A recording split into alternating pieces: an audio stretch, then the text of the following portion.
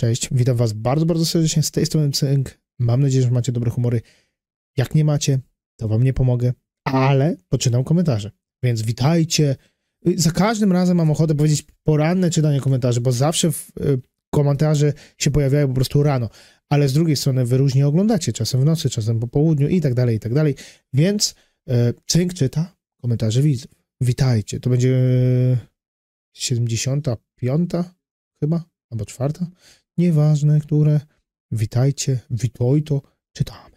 Oczywiście wiele matek jest wspaniałych, ale nie można przyjmować czegoś takiego, że jeśli kobieta urodziła dziecko, to z automatu jest idealna. I tu nie chodzi tylko o kwestię tego, że zdarzają się matki patologiczne, znęcające się nad dziećmi. Są takie zabobony, które twierdzą, że nic, co od matki wychodzi, nie sprawi krzywdy dziecku i jak na przykład niemowlak, niemowlak jest chory, to matka może napluć albo na sikać na szmatkę, przeczyć tym buzię i wtedy wyzdrowieje.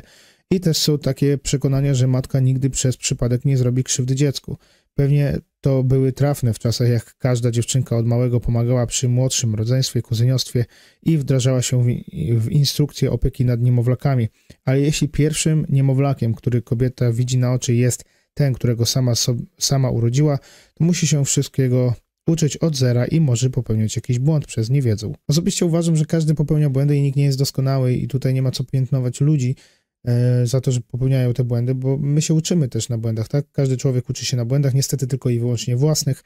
E, gdybyśmy się uczyli na czyichś błędach, to prawdopodobieństwo tego, że my byli, żylibyśmy w zupełnie innym świecie, byłaby przeogromna, a nas niestety żyjemy w jakim żyjemy, e, bo ludzie się nie uczą na czyichś błędach. Ludzie się uczą zawsze na swoich błędach. Każdy z nas to przerabiał swoją drogą więc też nie można wymagać od kogoś perfekcyjności, nawet jak ktoś ma już jakieś doświadczenie. Po prostu doświadczenie powoduje to, że tych błędów popełniamy mniej i potrafimy też inaczej patrzeć na pewne rzeczy, natomiast i tak nie ominiemy jakichś innych błędów i, i niestety tak to będzie. Każdy popełnia błędy, ale błędem nie można nazwać tego, że pobiłeś swoje dziecko do nieprzytomności i wylądowało w szpitalu. I, I ktoś ci powie, no to był mój błąd, nigdy więcej tego nie zrobię, bo, bo wylądował w szpitalu. To nie jest błąd. Błędem to ja mogę nazwać, że upadło wam dziecko i pobiło sobie kolana, bo żeście nie wyłożyli takiego materaca dla dzieci, nie? Takie mięciutkie są takie materacki, takie maty, o, takie maty, nie? Że nie wyłożyliście jakiegoś kocu, maty czy czegoś i, i dziecko sobie obiło kolanka. To jest błąd. Nie pobicie dziecka do nieprzytomności, to nie jest błąd. Oczywiście ja nie piję tutaj do komentarza, bo wiem o co ci chodzi, bo ja wiem, że ten, tylko tak sobie teraz uświadomiłem, bo niektórzy mogą mieć jakieś wypaczenie, y, słowo błąd i błąd w wychowaniu, czy coś w tym stylu.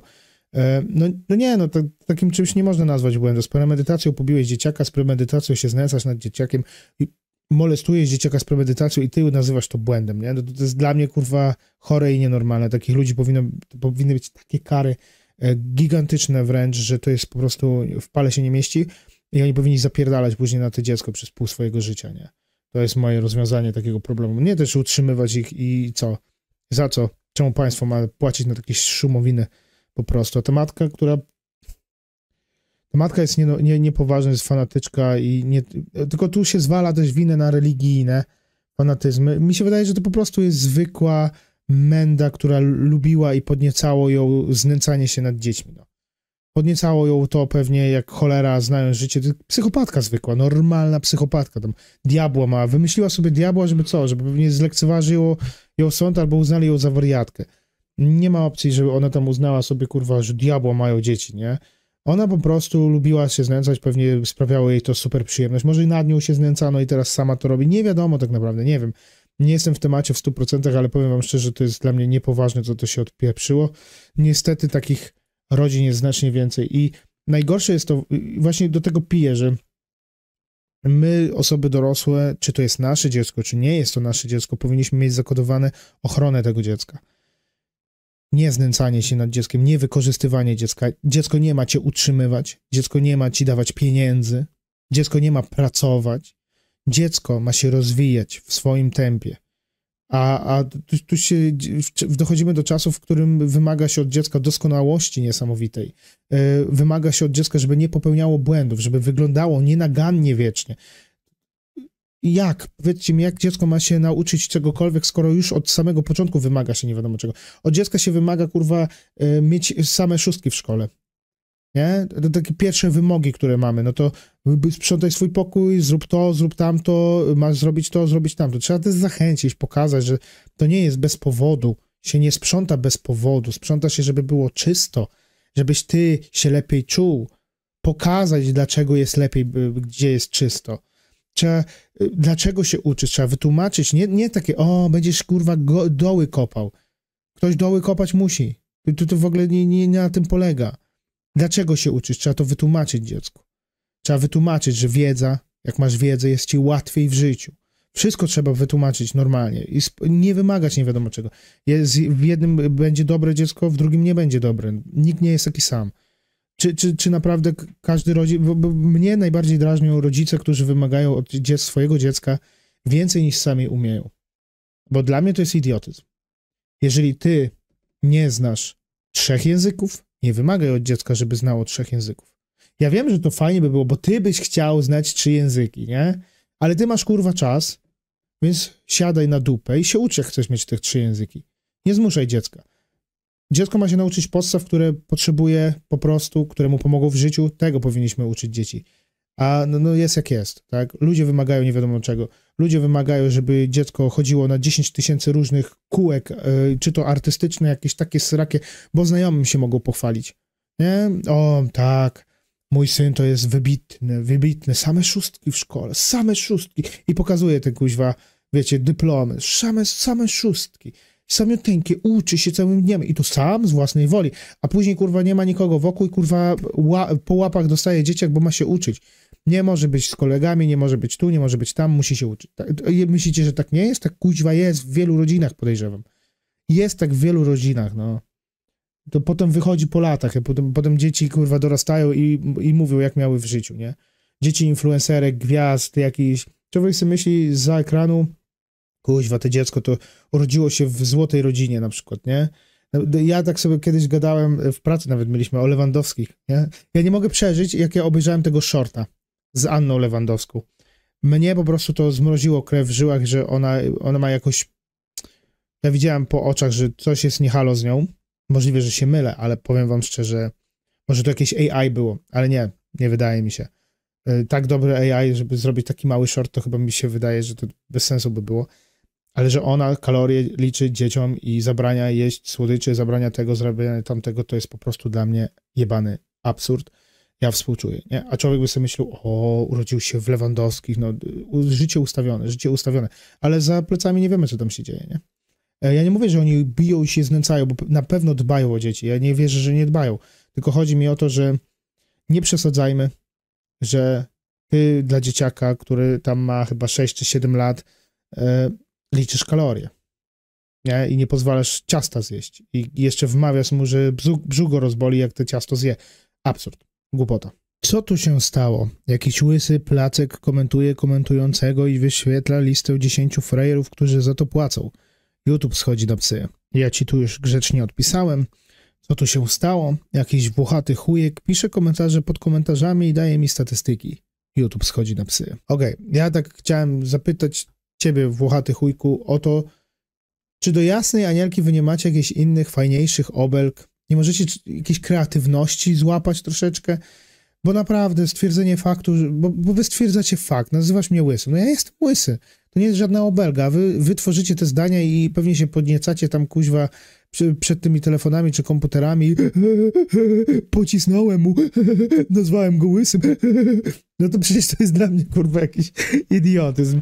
Ja się nie obrażę za to, że mnie nazwiesz łysym, nie? Wymyśl coś ciekawszego, jakieś fajniejsze wyzwiska. Coś kreatywnego do jasnej energii, no ludzie. Ja w ogóle tak swoją drogą, panowie, czy wy się obrażacie, jak ktoś powie do was łysy, bo jesteście łysi, bo nie macie włosów? Przecież to nie jest żadna obelga. Ja się czuję, jakbym kuźwa czytał komentarz jakiegoś tam jedenastolatka, który w szkole mówi, łysy, jesteś łysy, nie? nie, naprawdę, bo po prostu dla mnie to jest, ach, ach, wysilcie się, pomyślcie jakieś fajniejsze wyzwisko, no cokolwiek innego, nie? Macie, macie, kurwa, gamę wyboru, zobaczcie. Gama, Gama jest, krzywousty możecie mnie nazwać, mam lekko krzywe usta, nie? Leciuteńko, tak, tyci tyci, ale już to jakiś tam inny przytyk niż to, że jestem łysy. Nie wiem, krzywozębny, yy, szczerbatek możecie mnie nazywać, bo mam tu, a, a, tam z tyłu mi ząb rośnie, ale jak, jak ten, jak tak zrobię, to raczej, to raczej jakbym nie miał zęba, nie? No, no cokolwiek innego, naprawdę, no, no naprawdę cokolwiek innego niż tylko to, że jestem łysy. Nudne to się robi. Jak to, bardzo często czytam komentarz, jak ktoś chce mnie obrazić, bo się nie zgadza ze mną, albo po prostu chce mnie obrazić, proszę bardzo, komentarz to komentarz, to dajecie ten przykład łysego. Mnie to nie obraża. I szczerze mówiąc, dziwię się, jeżeli ktoś się obraża, że ktoś kogoś nazwie łysy, bo jest łysy, nie? Stwierdza fakt tylko. No niestety, wypadły mi włosy, trzeba się z tym pogodzić, nie? Jak będę miał hajs, to sobie pewnie zrobię przeszczep, e, a że nie mam hajsu, to, to sobie nie robię przeszczepu. I tyle. Ja akurat miałam obżarstwo ze stresu w nawiasie bez wymuszenia wymiotów. Zamykamy nawiasik. Miałam lekką nadwagę. Teraz schudłam 9 kg z powodu choroby fizycznej. Mimo tego, że cierpię na chorobę układu pokarmowego, to muszę uważać, żeby i nie zaczynać znów się obżerać, gdy tylko trochę lepiej się poczuję. Współczuję choroby, na pewno to nie jest miłe, nikomu nie życzę takiej choroby. Natomiast jeżeli chodzi o mnie, to ja na przykład obżarstwo jestem w stanie zrozumieć, bo ja kocham jeść, i, I całkowicie rozumiem, że niektórzy ludzie po prostu mają skłonności do obżarstwa. Ja również mam takie skłonności, tylko że ja się hamuję tylko i wyłącznie dlatego, że ja po prostu pamiętam, jak się czułem, gdy byłem znacznie grubszy. Ja się czułem źle. Ja byłem cały czas ospały, bardzo źle się czułem. Wszystko mi po prostu do, dolegiwało. Ja powiem wam szczerze, jak e, byłem znacznie grubszy i zacząłem pracę, to po prostu ja dostałem pracę, gdzie musiałem cały czas stać. Dosłownie w jednym miejscu stoisz przez tam 9-10 godzin dziennie ja myślałem, ja po prostu przychodziłem do domu i ja po prostu w wannie moczyłem nogi i dosłownie kurwa płakałem z bólu. Bo moja nadwaga spowodowała też to, że nie dość, że byłem nieprzyzwyczajony, to jeszcze ta nadwaga spowodowała, że te kolana, kurwa, miałem problemy z kolanami, stopami, boże, no bóle, jakiś skurczybyk. Po prostu to było straszne. I, I potem jak schudłem, to już tego problemu nie mam. E, więc samo to, że nogi mi jebły, nie? Z kolanami problem stawy mocno oberwały, plecy napieprzały jak pojebane po prostu. Fatalnie się czułem, źle wyglądałem do tego, więc tak naprawdę ja uważam, że bycie otyłem nie jest niczym dobrym i to i te ich bozy positive niech sobie wsadzą w dupę, e, bo samo akceptacja, ja siebie samego akceptuję, ale nie akceptuję tego, że, znaczy ja akceptuję to, jak wyglądam, akceptuję siebie, ale jestem też świadomy tego, że bycie otyłym nie jest niczym dobrym. Bo nie jest niczym dobrym. Naprawdę. E, bycie otyłym, grubym człowiekiem mam w dupie, jeżeli jesteście grubi i otyli, czy cokolwiek innego, czy jesteście chudzi. Mam to gdzieś. Natomiast nie wmawiajcie mi, że czujecie się z tym zajebiście. Nawet nie chodzi o to, że jak spoglądają na was ludzie, tylko się zastanówcie, jak wy macie problemy z, z ciałem swoim ciśnienie, serce, kurwa, ja, ja mo nie mogłem chodzić normalnie przez pewien czas. Po, pochodziłem trochę, kurwa, i już ja zadyszki dostawałem. Jak można się doprowadzić do takiego stanu? Ja sam siebie, kurwa, y, nie lubiłem za to, jak ja mogłem się do tego doprowadzić i nie miałem jakichś diet, nie wiadomo jakich. Ja po prostu ograniczyłem żarcie. Ograniczyłem żarcie, zacząłem po prostu pracować yy, i, i tyle. Ograniczyłem wpierdalanie. Zwyczajnie, normalnie ograniczyłem wpierdalanie i trochę schudłem. Nadal jestem dość większym facetem. O, ja mogę wam pokazać. O, proszę bardzo. Tak, mam tu tyca. Tak, brr, jest moc. Natomiast w porównaniu, w porównaniu do tego, co było kiedyś, tak, łapki, o, proszę bardzo, to jest, nie była ziemia, nie? Ja kiedyś ważyłem koło 115 kilo, później się przestałem ważyć jakieś 115, teraz waży jakieś 93, 92. E, był taki okres, że ważyłem 85 kilo, wtedy zacząłem sobie ćwiczyć, biegać. E, no, dobrze wyglądałem, nie? No teraz waży trochę, no 93. Ostatnio się ważyłem. Kiedy ja się ważyłem? Dwa tygodnie temu? To jakieś było 92 czy 3 kg, coś takiego, już nie pamiętam dokładnie.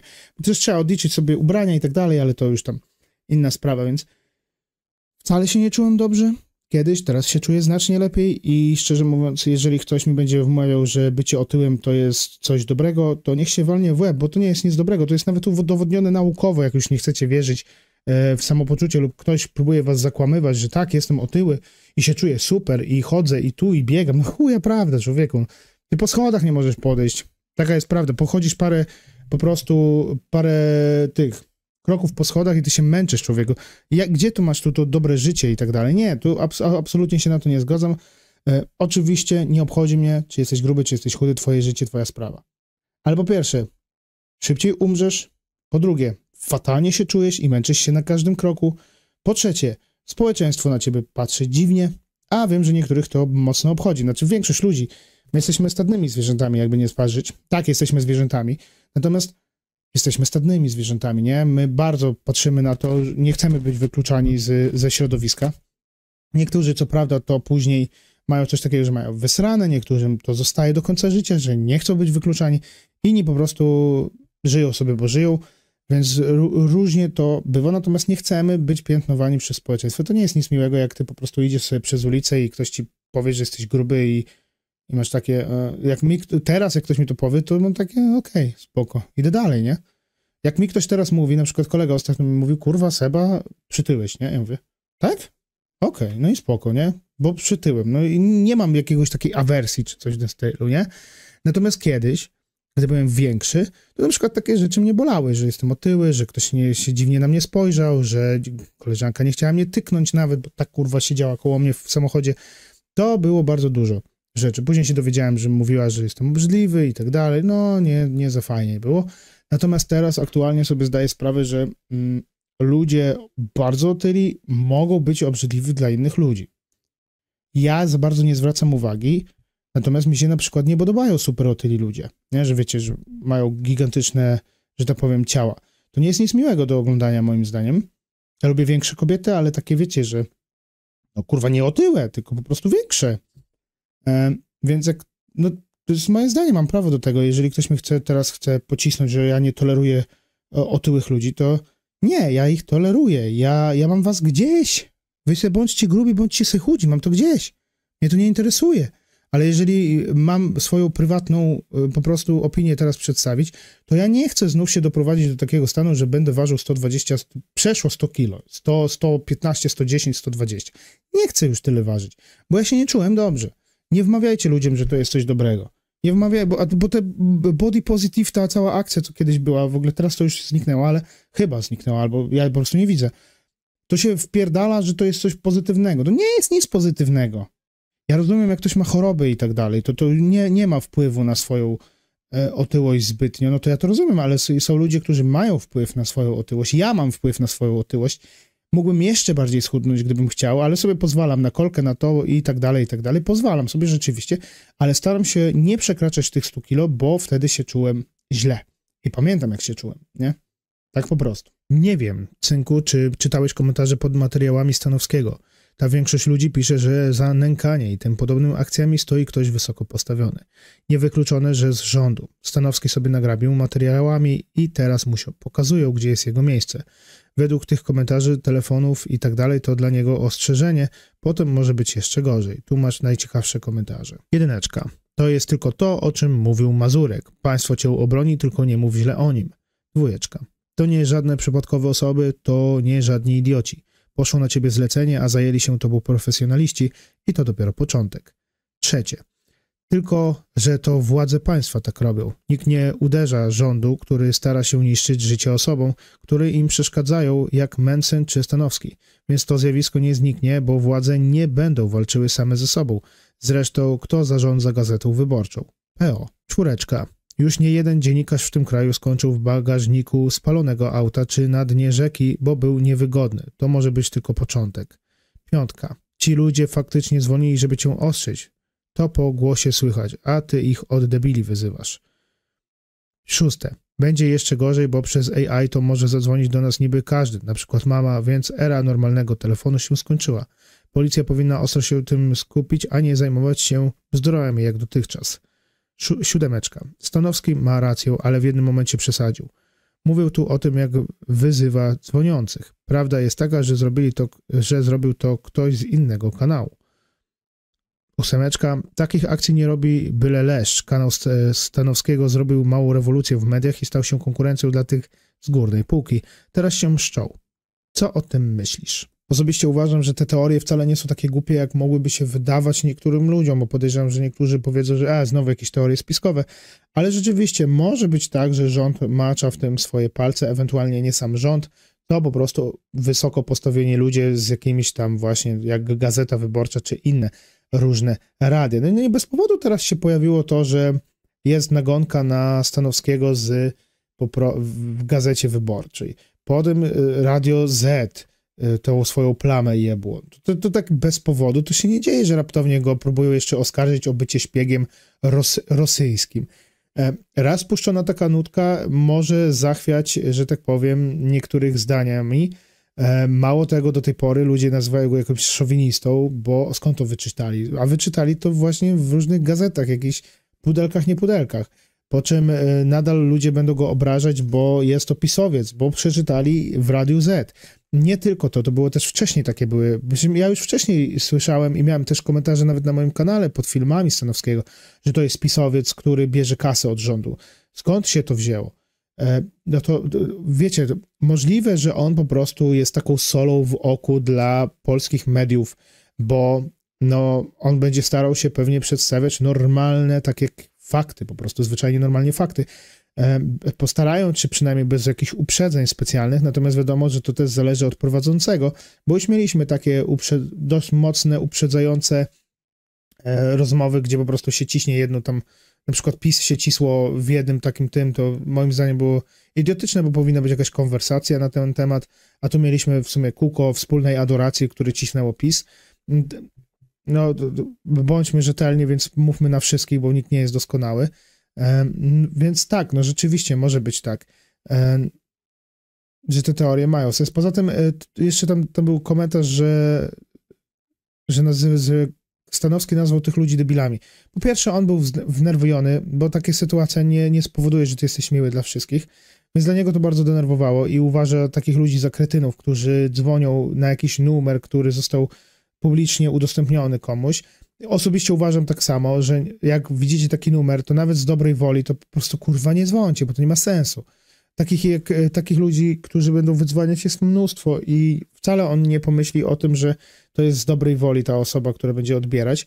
Mm, oczywiście pewnie na pewno znajdą, znalazły się tam osoby, które z własnej woli i nieprzymuszone, bez niczego chciały po prostu ostrzyć i myślały, że są jedyne.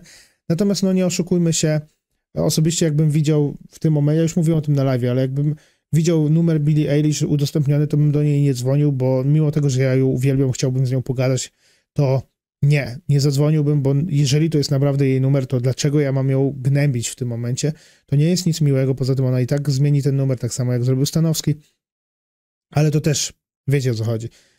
To może być sprawka, możliwe nawet, że rządu, Kij wie, bo jeżeli tam będą informacje negatywne dla rządzących, to wie, wiemy jak PiS robił, co robił PiS, że miał przekupstwa i tak dalej. Mensen też to próbuje nagłaśniać na o-stop w internecie i też jest przez to niewygodny. Ale ogólnie e, korupcja w naszym kraju jest przeogromna, na każdym kroku dosłownie, czy to w urzędach, czy ogólnie wysoko postawieni ludzie, czy mało postawieni ludzie, nisko postawieni ludzie, wszyscy są niemalże skorumpowani. Nawet to, że idziecie kurwa do urzędu i musicie dać kawusie nie? Niektórzy ludzie powiedzą, że nie, ale do tej pory ja się spotykam, jak rozmawiam z mamą, to ona na przykład daje kawusie dobro tam dla, dla pani z urzędu, jakieś ciastko przyniesie, bo dzięki temu jest milej i lepiej traktowana, a tak nie powinno być, ale tak jest. Ja kiedyś oglądałem wypowiedź jakiejś Ukrainki, która mówi, że w Polsce czegoś takiego nie ma, bo ona e, w Ukrainie to, to było to na porządku dziennym, że tak, że tak trzeba, że inaczej nie zostaniesz obsłużony. Y, I ona wchodzi do Polski i ona mówi, że takiego rzeczy, że tu nie trzeba czegoś takiego, że takich łapówek się nie daje, znaczy takich drobnych łapówek się nie daje. Nie, takie łapówki się daje, do tej pory się daje. Ludzie są dzięki temu o wiele. No, samo to, że jak macie znajomego gdzieś, to potraficie e, znaleźć kluczki. E, mój znajomy kiedyś, to nie jest jakiś dobry kumpel, po prostu sobie rozmawialiśmy raz kiedyś i po prostu on mi opowiadał, bo on pracował w e, tych telekomunikacji, tylko że on pracował dla jakiejś tam firmy, tylko nie pamiętam jaka to była firma, coś jak Orange, wiecie o co chodzi, telefony, internety i tak dalej. I on na przykład mi mówił, że cztery pierwsze e, propozycje, które, czy tam trzy pierwsze propozycje, które gościu ci dzwoni na przykład, albo rozmawiasz sobie u nich, to są gówniane. Normalnie wciskają ci syf, E, pierwszy raz, e, zawsze mają trzy takie gówniane propozycje, e, bo za tą samą kasę e, możliwe, że czwarta lub piąta będzie tą najlepszą opcją, ale oni jej nie chcą dawać wszystkim, więc oni dają jakąś gównianą opcję za tą samą kasę. I na przykład jak ty mówisz nie i, on, i tam facet ci podejdzie i on tak mówi do mnie nawet, on do mnie to mówił, że on dzwoni do ludzi i mówi, y, że on, on tam rozumie, rozumie i że wie pan co, mamy tu taką ofertę, nie mogę go wszystkim mówić, em, natomiast wie pan co, ja zrobię dla pana taki wyjątek i ja po prostu podam panu tą lepszą opcję, natomiast proszę nie mówić, że coś takiego miało miejsce, bo zacznijmy od tego, że te wszystkie rozmowy są nagrywane, więc to, to już, jak ktoś ci mówi coś takiego, to znaczy, że ci robi w chuja, tak zacznijmy od tego. Ale dajmy na to, że uwierzyłeś, że to jest ta lepsza opcja i tak dalej, i tak dalej, więc jak będziesz się kłócił ciągle nie, nie, nie, nie, nie, odmawiał, to prędzej czy później dadzą ci najlepszą opcję, którą mogą ci sprzedać, jak na przykład za internet, nie? I, i zapłacisz mniej, ewentualnie to samo, ale za większy ten internet. Więc wszędzie robią w chuje. Jak masz znajomości i masz znajomego, to możesz pójść bezpośrednio do znajomego i w tym momencie mu powiedzieć, dobra, dawaj najlepszą opcję. I on ci mówi, mordo, nie ma problemu. I od razu ci przedstawia najlepszą opcję, jaką mają w firmie, którą może on dać. A, a taki szary człowiek nie. To samo jest w urzędach. Wypełnienie jakichś papierów. Baba ci daje papier, ty nie wiesz, jak to wypełnić. Proszę czekaj, proszę czekaj, proszę czekaj. Ale masz znajomą, dałeś jej kawę czy coś w tym stylu. No nie ma problemu, proszę pani, już pani pomagam. Tak to działa, kurwa. I to dalej funkcjonuje w Polsce, więc to absurd jest. Ręka rękę myje za każdym razem i najgorsze jest to, że wysoko postawione, to już nie jest kawusia, to już nie jest jakiś ten. Oni dostają gigantyczne pieniądze. Dlaczego niektóre firmy z zagranicy e, mają jakieś tam, mogą zakładać e, na przykład e, swoje, dajmy na to, spółki na jakichś terenach, w których inna, mniejsza firma jednak nie mogła z jakiegoś tam dziwnego powodu, nie? Dlaczego jedna firma gigantyczna, dajmy na to, przy, przykładowo, mówię, nie mówię, że tak jest, tylko przykładowo, Tesco. Ja Tesco wiem, że zniknęło w Polsce, ale że Tesco. Mamy sklepikarza, który pracuje w tym sklepie od 15 lat, ale go wypieprzą, bo powiedzą, że nie możesz, bo tu ta sram to, sram to. I na to samo miejsce, w tym samym miejscu, kurwa, pojawia się Tesco. I już Tesco może. Dlaczego może? Bo kurwa zapłaciło. Dlatego może. Ogólnie sorry za taką chaotyczną opowieść o tym znajomym, ale powiem wam szczerze, nie pamiętam dokładnie jego słów, jak to było. Czy to były trzy pierwsze opcje gówniane, czy cztery o pierwsze opcje, czy dwie pierwsze opcje. Nie pamiętam za bardzo, co on tam pierdolił. Pamiętam mniej więcej klu, klucz tego wszystkiego, że po prostu robią wała takie firmy. I nie tylko firmy, bo też banki tak robią, że tam wiecie, przedstawiają wam jakąś kijowatą ofertę i któraś tam dopiero z kolei jest lepsza, jak was nie dadzą rady przekonać. Więc tak to działa, nie? Tak, to działa niestety. Smutne trochę. Dzięki wielkie za słuchanie, za oglądanie. Mam nadzieję, że Wam się podobało i dziękuję bardzo raz jeszcze moim wspierającym i nie tylko na YouTubie, ale też i na Twitchu, więc bardzo, bardzo Wam dziękuję, bo dziękuję Franek za pełno donate'ów i dziękuję Ci Zura Basura, bo też jesteś topowym moim w sumie donatatorem, że tak powiem. No, ale bardzo Wam dziękuję też ludziom, którzy piszą mi te komentarze, statystyki dla zasięgu, e, jakąś emotkę daję. Bardzo za to dziękuję, bo to naprawdę pomaga. Te filmy rzeczywiście trafiają później na główne i mam później takie pajaców, którzy mi piszą, o, łysy mi wyskoczył, kim ty jesteś, nie? To właśnie dlatego, że piszecie komentarze i moje statystyki są bardzo dobre. I wywala ludziom na, na główno, więc bardzo dziękuję za to i trzymajcie się do następnego.